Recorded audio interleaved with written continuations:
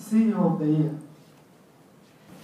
Sometimes you wonder, with all the challenges that you're facing, the competitor challenge out there, the problems with your processes, uh, the customer complaints that we experience, are we really, really deserving of this award?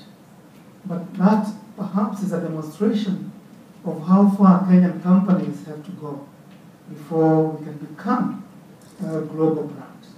But if we can focus on these determinants and go out of our way as Kenyan and East African companies to implement these uh, recommendations, these uh, key pillars, these determinants, I think if you accept that this is a journey and not a single instant one year process, we will, the very long run, become and produce global brands in this part of the world.